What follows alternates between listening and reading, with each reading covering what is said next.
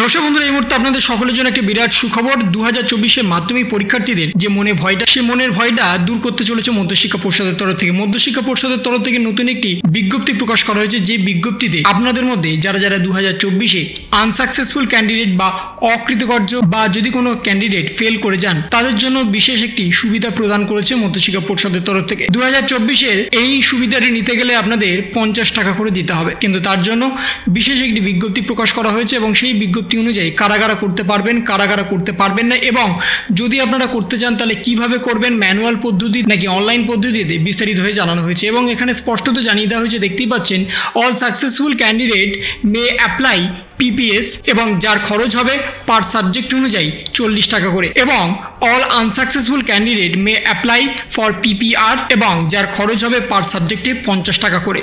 এবং স্কুলের তরফ থেকে স্কুল যদি চায় তাহলে দু টাকা করে পার সাবজেক্টে পার ক্যান্ডিডেট থেকে নিতে পারে, সেটা নেসেসারি নয়। যদি স্কুল মনে করে, তখনই কিন্তু এটা নিতে পারবে। এবং এখানে পিপিএস বা পিপিআর করার ক্ষেত্রে আপনারা কিন্তু নিজে থেকে করতে পারবেন না। কোনো ক্যান্ডিডেট ম্যানুয়ালি করতে পারবে না এবং কোনো ক্যান্ডিডেট ম্যানুয়ালি অনলাইনের মাধ্যমেও করতে পারবে না। যাদের যাদের বর্তমানে মনে হবে পিপিএস বা পিপিআর করে পাশ করব তাদের কিন্তু একটা অ্যাপ্লিকেশান দিতে হবে। সেই অ্যাপ্লিকেশান ভিত্তিতেই কোন কোন সাবজেক্টের জন্য আপনারা করতে চাইছেন, সেই দরখাস্ত আপনাদের স্কুলের প্রধান শিক্ষকের কাছে দিতে হবে এবং তারাই সরাসরি আপনাদের সমস্ত নাম্বার এবং রেজাল্ট সরাসরি মধ্যশিক্ষা পরিষদের কাছে আপলোড করবে। তারপরে আপনাদের খাতা ভেরিফাই করা হবে।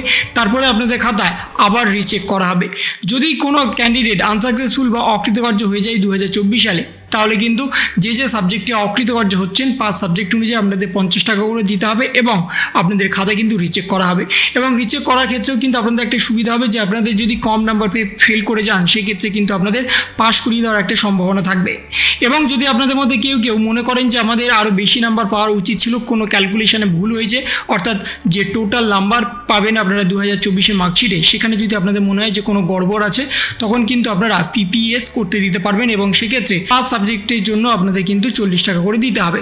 এই ম্যানুয়ালটা কিন্তু সরাসরি মধ্যশিক্ষা পরিষদের তরফ থেকে জানিয়ে দেওয়া হয়েছে এবং আপনারা জানেন যে দু হাজার চব্বিশ সালে পঁচিশ ফেলেই পাস এবং ইতিমধ্যে আপনাদের প্র্যাকটিক্যালি কিন্তু আট থেকে ন নম্বর দিয়ে দেওয়া হয়েছে। বাকি যে নাম্বার সেটাও ইজিলি কিন্তু পরীক্ষার খাতা থেকে তুলে নিয়েছেন অলরেডি তাই আপনাদের ফেল করা নিয়ে কিন্তু কোনো চিন্তার কোনো কারণ যদি ইন কেস কোনো ক্যান্ডিডেট ফেল করে যায়, তাহলে কিন্তু তাদের কাছে অপশান থাকছে পিপিএস বা পিপিআর করার ক্ষেত্রে। বিশেষ করে আনসাকসেসফুল ক্যান্ডিডেট বা যারা যারা ফেল করবেন, তাদের ক্ষেত্রে কিন্তু পিপিআর অর্থাৎ তারা কিন্তু সরাসরি তাদের খাতাটাকে রিচেক করাতে দিতে পারবে এবং যদি কোনো কারণে পাঁচ থেকে ছ নম্বরও যদি ঘাটতি হয়, তাহলে কিন্তু সেটা গ্রেজ নাম্বার হিসাবে আপনাদের কিন্তু দিয়ে দেওয়া হবে।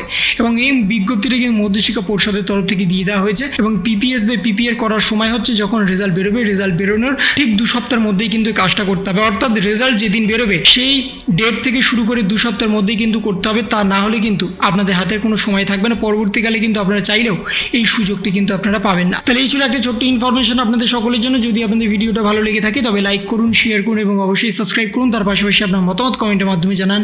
ভালো থাকুন, সুস্থ থাকুন। ধন্যবাদ।